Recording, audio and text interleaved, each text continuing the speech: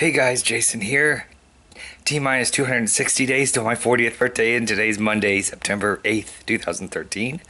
And as you can tell from my voice, I am not feeling, I'm not doing too too great. Um, two nights ago after miniature golf, came home, everything was great, went to bed, and uh, woke up shortly after, violently ill. So much to the point where I actually destroyed my throat. Couldn't talk at all yesterday, and can barely talk today, so um, I'm feeling a lot better. The violently ill part is gone, and the throat part is uh, still sore, and I got a headache, a little bit of headache and tired, but not doing too bad after, other than that. Uh, so that's why you didn't get a video yesterday. You wouldn't have heard me. You would have just seen me going, and that's not any good. So, um, so I'm sitting here doing one of my favorite things in the whole wide world and if you ever want to know what sarcasm sounds like, that's what sarcasm sounds like. Because what I am doing is strumming or stringing my 12 string. See? Look, no strings. No strings at all. I hate stringing my 12 string.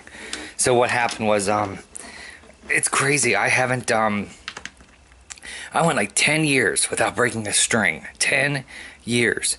And then all of a sudden I'm up in Pennsylvania and I break one at a show and so I had to restring it up in Pennsylvania. And then I played this last Saturday, two days ago. I was playing the uh, East Tasty Farmers Market, and I break another string, so I got to restring it again. It's crazy. Um, excuse me. I don't know if I just have a bad set of strings or last. I don't know. I can understand the Pennsylvania one. I was rocking pretty good, and I, am sure I just nailed it too hard and broke a string. But um, I'm not sure about the East Tasty Market. This last one, I don't know if I just had a defective string or what, but at any rate, gotta wipe this down, clean it up, and uh, get it all nice and pretty. And um, let's see, what else is going on? That's about it. I'm gonna rest today.